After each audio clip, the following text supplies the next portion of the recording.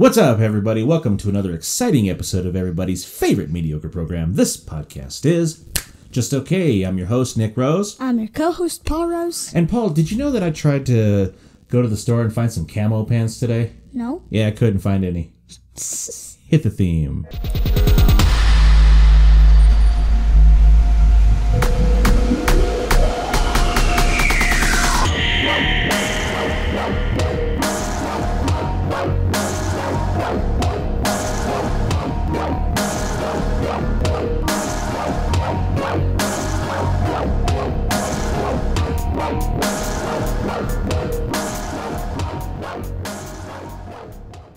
All right, everybody, we are back. How you doing, Paul? Good. How you doing? Doing great, man. How's your week been?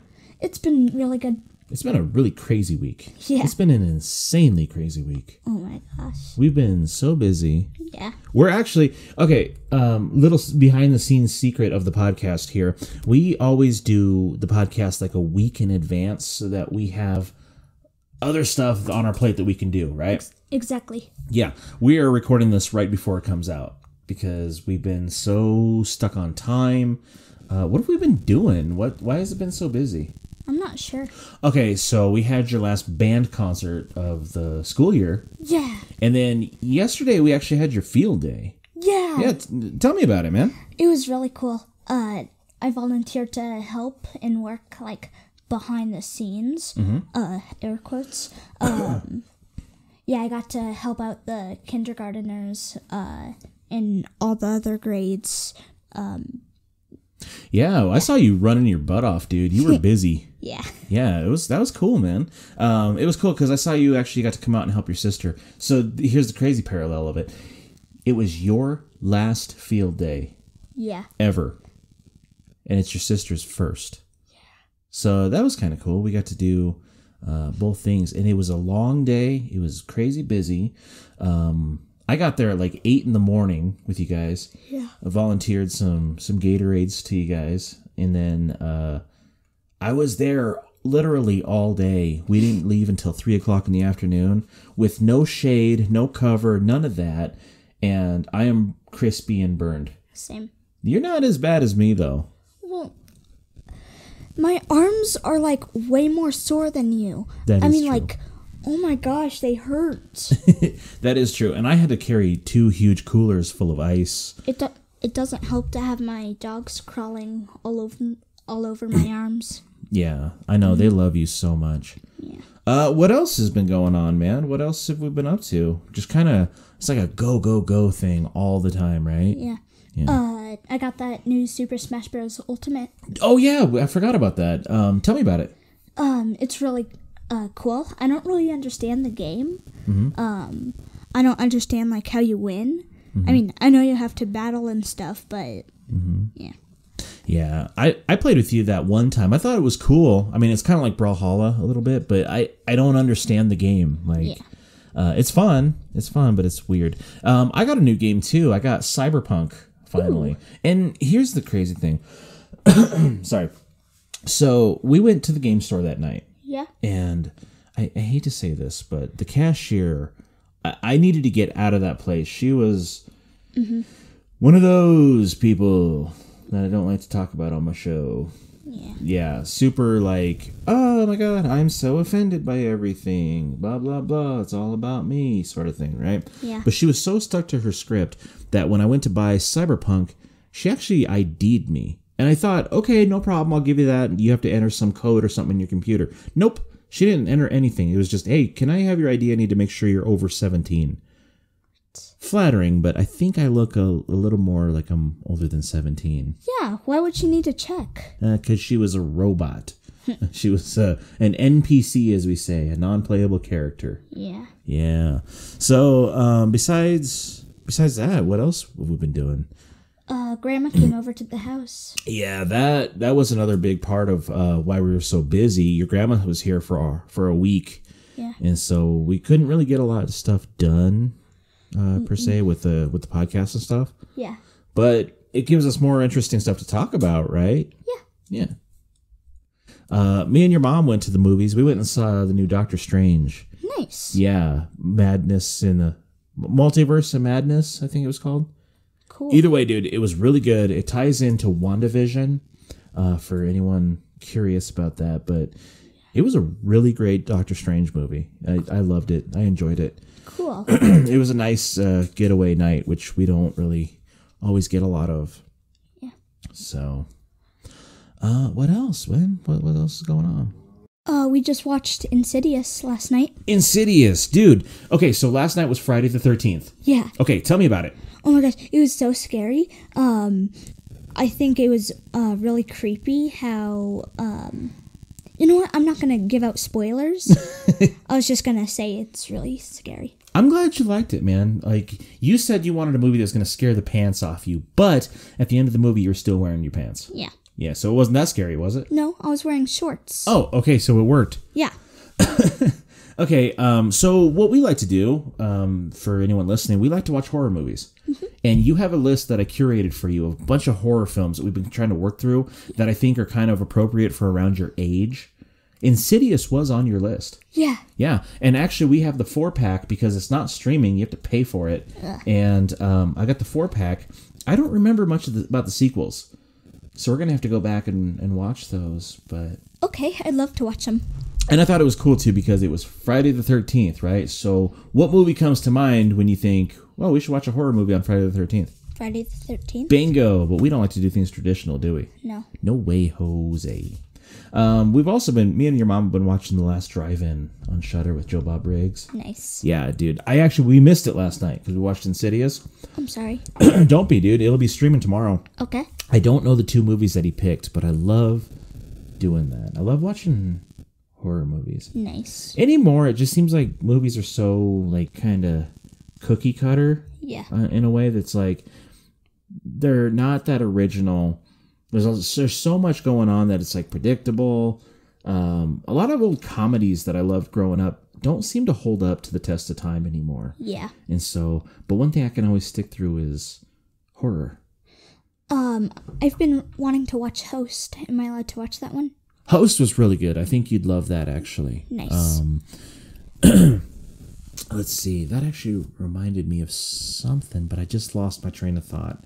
Oh, hey, you know what else we didn't talk about? I don't think. What? Oh, maybe we did. Did we talk about Free Comic Book Day last week? I think so. No. Think so? No. No, I don't think so. Oh, okay. So last week was Free Comic Book Day. Yeah. Yeah. What did we do? Uh, we went to Mile High Comics Mile High Comics, dude. and uh, got a bunch of free comic books. Uh, there was a really good selection. Yeah, dude. So they had what fifty-eight new comics that came out for the, under the free section, Yeah.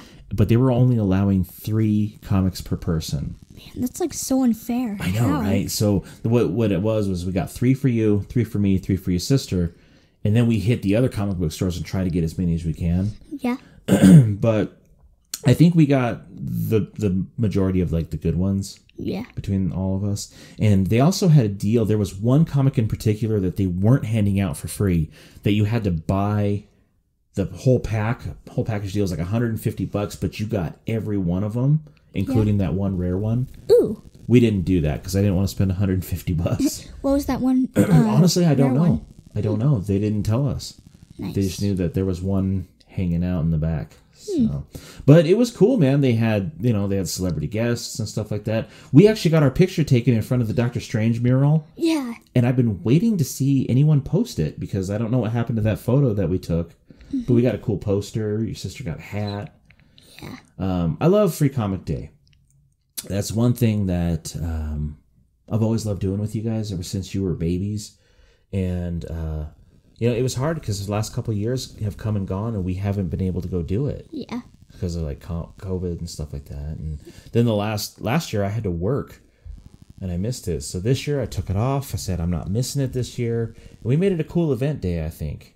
I'm still catching up on my comics. Yeah, me too. I got a bunch. I haven't had a chance to read any of them. Ugh. Um, I've also been on a, a, a kick lately. I've been hunting down, trying to hunt down Pokemon cards, man. Oh my gosh, Pokemon cards are like so cool. They're impossible to find. Yeah.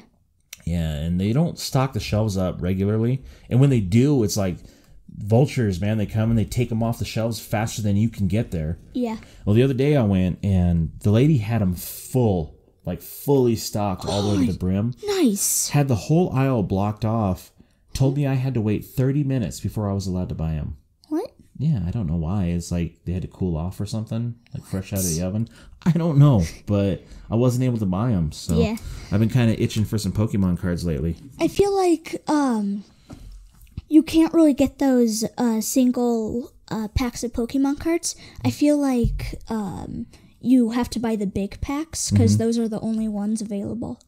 Yeah, like the trainer boxes, but they limit you one per per like checkout. Yeah. So even if I was to get that trainer box, I couldn't get one for me, one for you, one for your mom. I couldn't do that because it's limited to one Yeah. per day, and they like take your card or something like that. Hmm. but I don't know, man. Beyond that, um, you actually had a cool subject you wanted to talk about tonight. Yeah. Yeah, what was it? Um, haunted hospitals. And that came from a from a friend of yours, right? A suggestion. Yeah. Cool. So we're going to do that this week. 10 horrifying hospitals you never want to stay in. Should we get started on it? Yes. All right. Should I read you the big creepy intro? Sure. All righty. Here we go. Dim the lights. Are they dimmed? Uh, no. Okay. Well, that's okay because I'm too scared to, in the dark. All right, man. Hospitals, as you know, are by and large pretty creepy. Yeah. Yeah.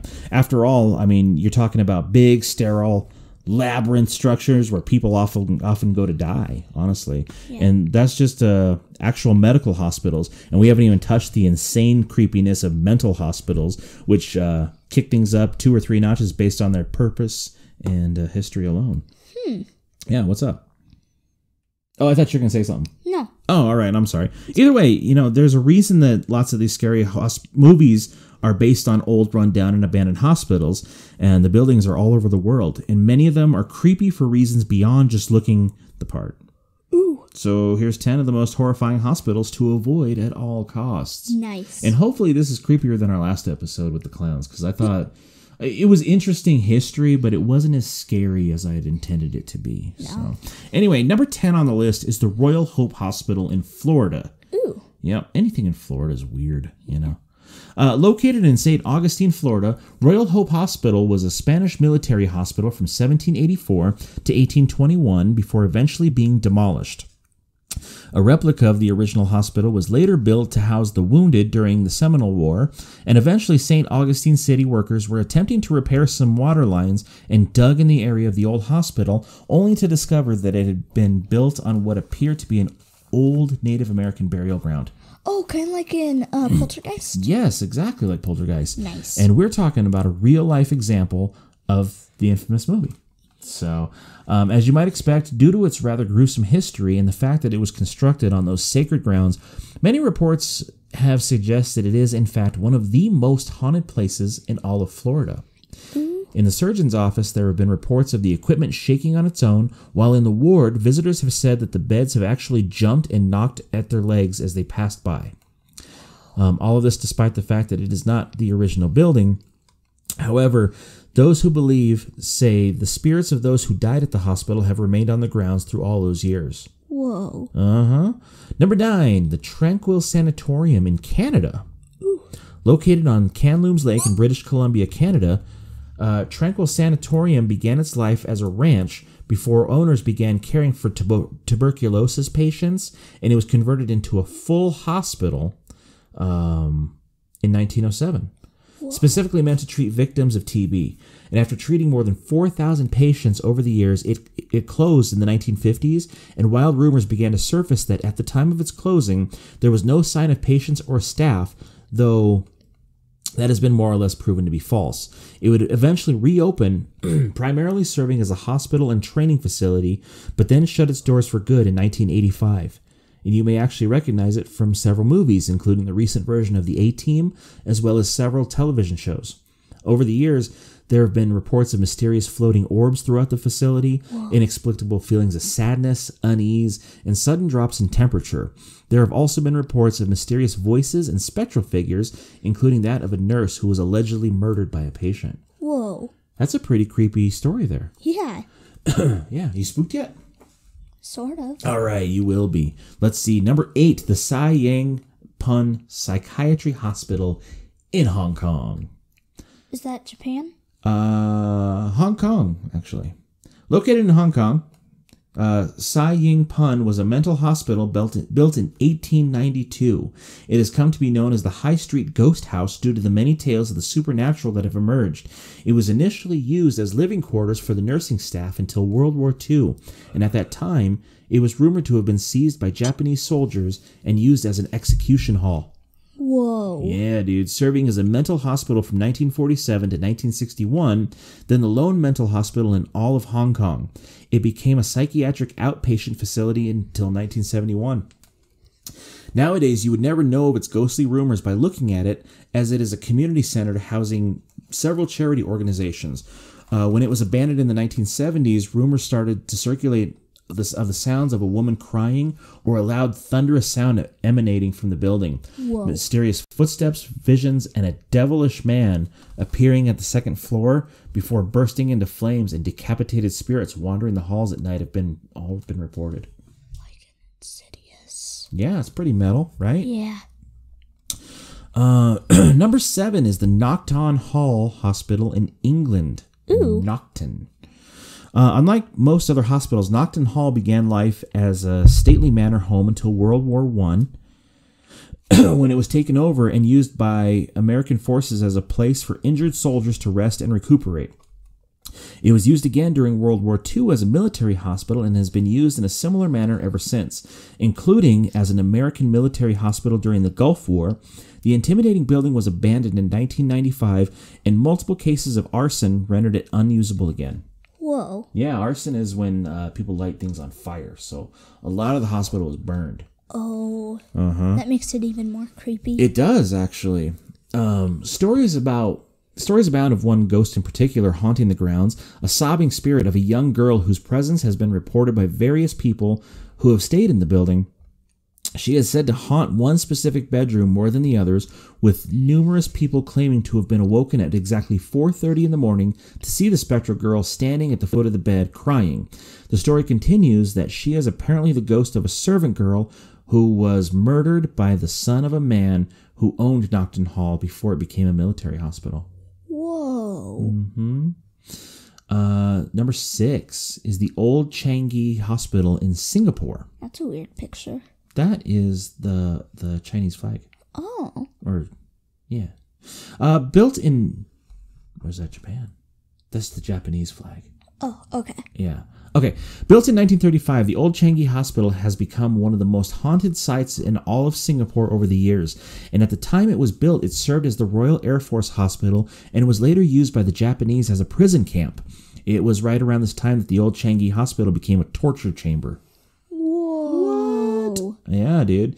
So it should not come as a surprise that when there are regularly reported sightings of ghosts believed to be the victims of the Japanese, these days the new, now abandoned building, which ceased operation in 1997, has been the site of many supernaturally themed shows as camera crews attempt to catch evidence of otherworldly presence in the decrepit, spooky rooms and corridors.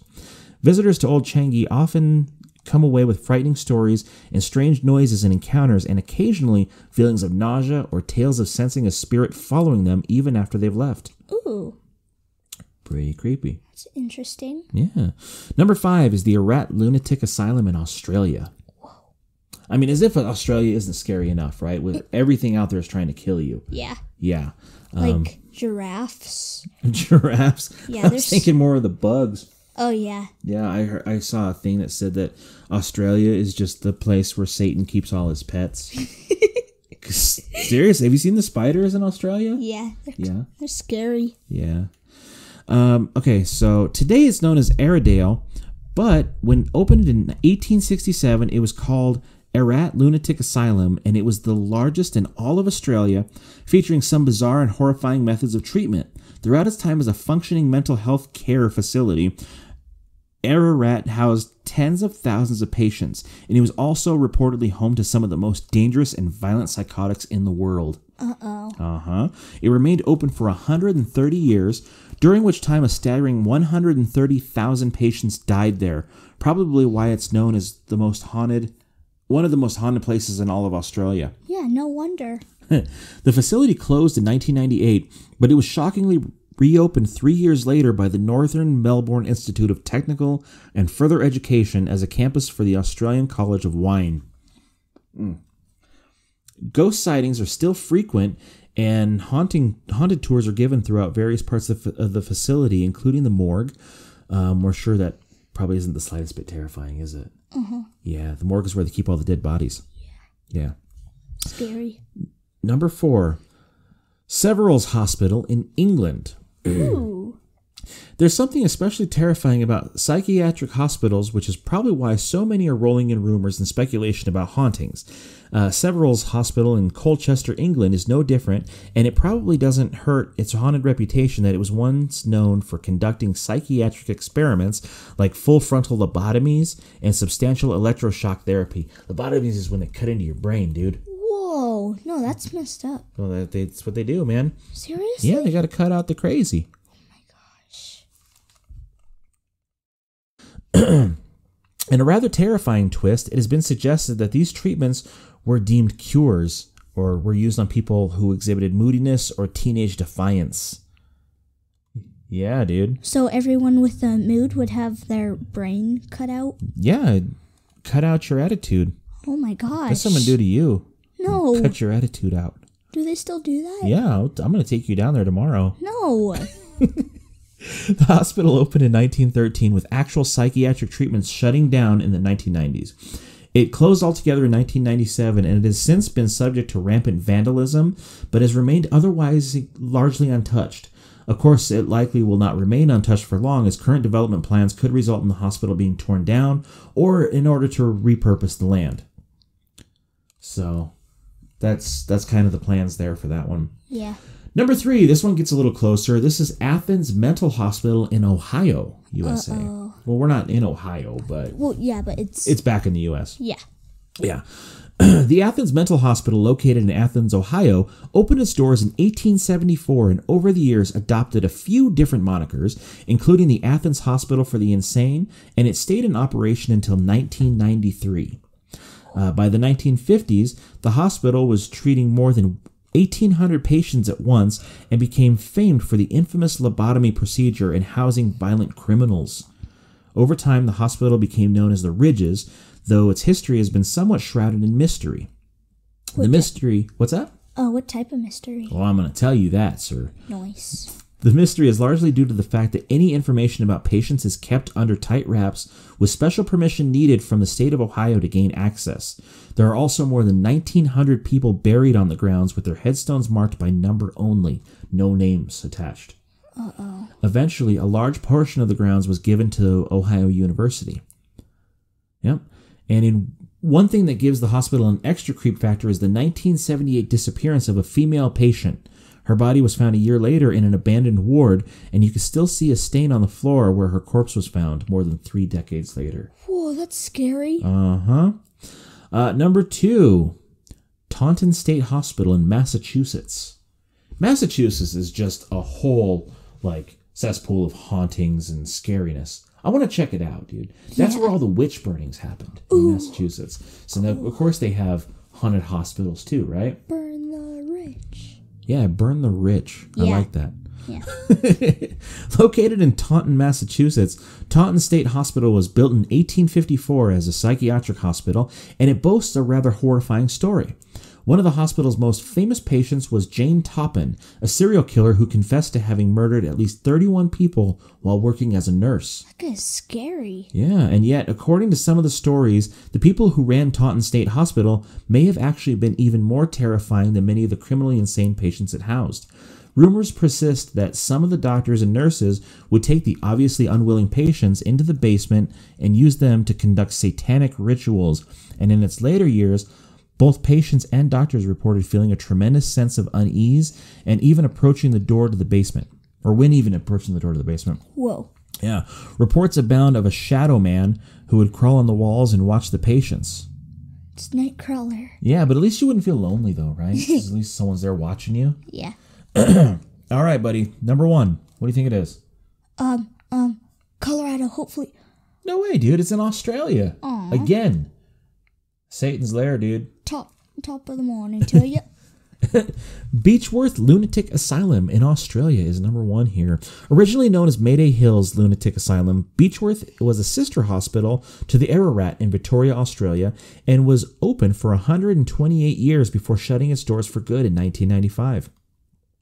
Both Beechworth and Ararat were opened in the same year after Victoria's lone mental institution suffered some overcrowded, or became overcrowded, um, and and at its height, Beechworth housed roughly 1,200 patients, and it was remarkably easy to have someone committed, requiring only two signatures to do so.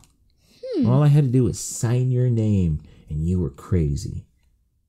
That's like messed up. So if I like, so if you would sign your name on something, you'd be crazy. No, no, no. I could sign you in tell them you're crazy. Signature, you're done.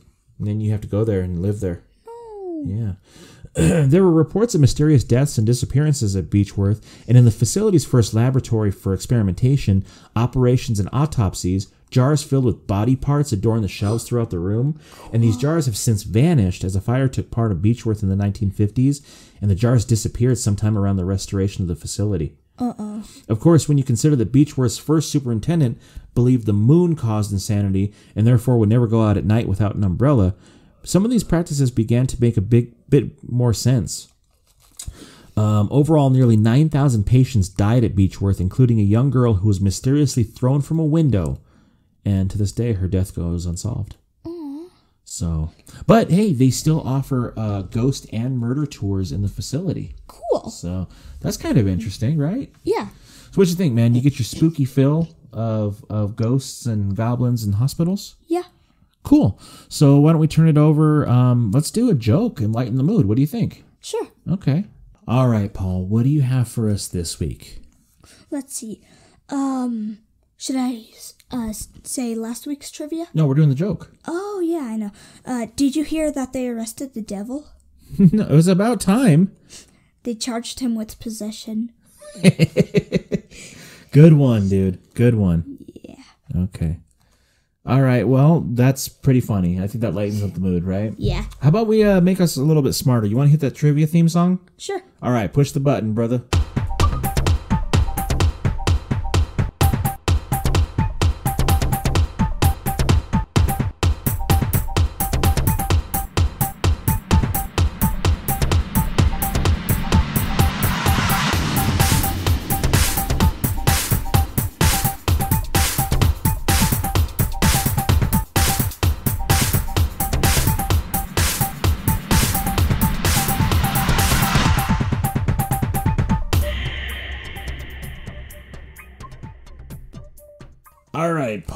Week you come to us and you make us a little bit smarter and wiser with your trivia, right? Mm-hmm. Okay, so let's go to last week's trivia question and give us the answer. Okay.